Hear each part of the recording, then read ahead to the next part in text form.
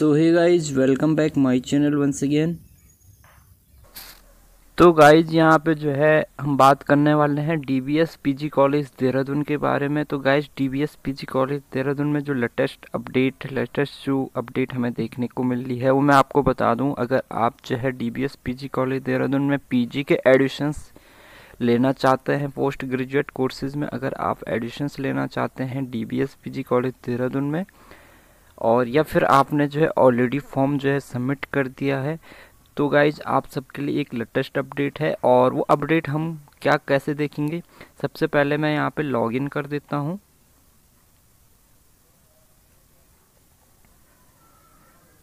तो देखिए गाइज़ मैंने यहाँ पे लॉगिन कर दिया है। तो ये अपडेट क्या है? देखिए D V S P G college Dehradun में जो पी जी के जो एडमिशन्स हैं, जितने भी हैं, उनकी जो लास्ट डेट है वो बीस नवंबर। 2021 यानी 20 तारीख तक जो है अभी डेट बढ़ गई है। ठीक है? तो पीजी में क्या क्या कोर्सेज हैं? आपको बता देता हूँ। एमए इकोनॉमिक्स है एमए इंग्लिश है एमए जियोग्राफी है एमए बायोटेक्नोलॉजी है सॉरी एमएससी बायोटेक्नोलॉजी है MSc botany MSc chemistry MSc geology MSc math MSc microbiology MSc physics and MSc zoology इतने सारे यहाँ पे जो है आपके कोर्सेज हैं। पीजी में और आपको अगर एडमिशन्स लेना है तो 20 तारीख लास्ट डेट है।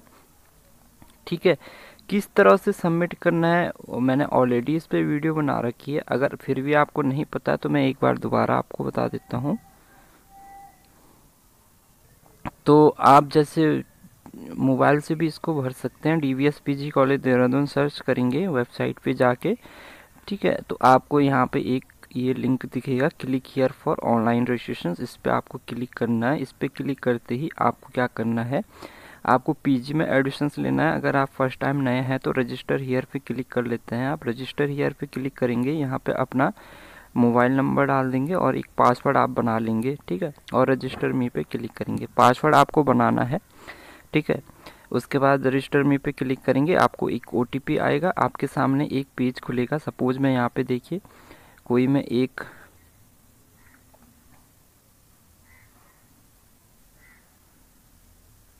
रजिस्टर मी पे क्लिक करेंगे।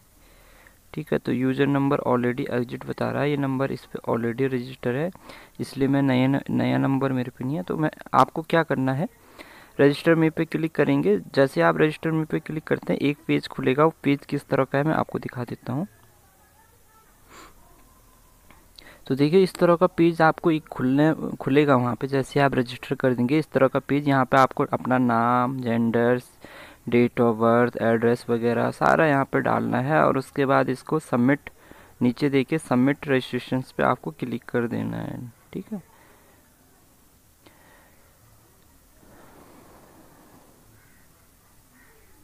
तो इसको आपको सबमिट यहाँ से जो है, कर देना है। उसके बाद और इस तरह का आएगा। यहाँ पे जो है, जिस भी कोर्सेज के लिए आप अप्लाई करना चाहते हैं, उसके आगे देखिए, यहाँ पे पे हेयर पे आपको क्लिक करना है, क्योंकि पे हेयर जिस भी कोर्स में आप एडमिशन ले रहे हैं, उसकी फ़ीस आपको रजिस्ट्रेशन फ़ीस सबमिट करनी जैसे मैं एम एस सी बायोटेक्नोलॉजी पे क्लिक करूँगा तो देखिए पे हेयर पे क्लिक करूँगा तो ये ओके पे ले जाएगा। देखिए, पचास रुपये यहाँ पे फ़ीस है, इसको पे नाव पे क्लिक करेंगे तो जैसे ही पे नाव पे क्लिक करेंगे तो डायरेक्टली आपको बैंक के फ़ीस पे आपको ले जाएगा। देखिए, ये बैंक के फ़ीस में ले गया। यहाँ पे आप debit card net banking credit card UPI से अपना जो है पेमेंट कर सकते हैं। मोबाइल नंबर और ईमेल आईडी डाल देंगे यहाँ पर ठीक तो जैसे ही आपका पेमेंट हो जाता है तो उसके बाद क्या होता है? जैसे पेमेंट सक्सेस हो जाएगा आपका, उसके बाद यहाँ पे क्या आता है? एक लिखा आता है अप्लाई करके, ठीक है? अप्लाई लिखा आएगा। अप्लाई पे जाने के बाद आपको क्या करना होता है? अप्लाई पे जाने के बाद आपको क्या करना होता है? वहाँ पे जो है आपको कोर्स वहाँ पे अपना जो आपका ग्रेजुएशन है सपोज़ आपने एमएससी केमिस्ट्री में एडमिशन्स लिया है तो वहाँ पे आप केमिस्ट्री के थ्योरी के जो है मार्क्स वहाँ पे डालेंगे। ओनली थ्योरी के मार्क्स डालने हैं first semester second semester third semester fourth semester fifth semester, six semester theory के मार्क्स ओनली डालने हैं, ठीक है?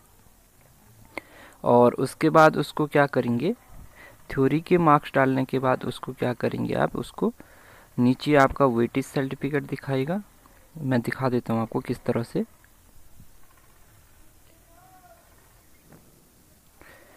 तो गाइज़ वहाँ पे आपको जो है, अपने जो है मार्क्स डालने हैं। वेटेज अगर आपके पास में N C C N S S वगैरह, ठीक है? N C C N S S वगैरह है तो वो डाल देंगे, नहीं तो आपको छोड़ देना है, कुछ भी नहीं नन कर देंगे और मार्कशीट जो है अपलोड कर देंगे first year second year and third year की एंड उसको सबमिट कर देंगे और उसका प्रिंट निकाल देंगे। तो इतना प्रोसेस है एडमिशन्स लेने का पीजी में एडमिशन्स लेने का।